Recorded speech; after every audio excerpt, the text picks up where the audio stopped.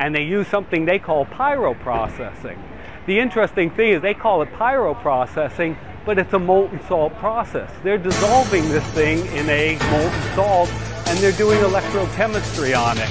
Why don't they call it molten salt? They want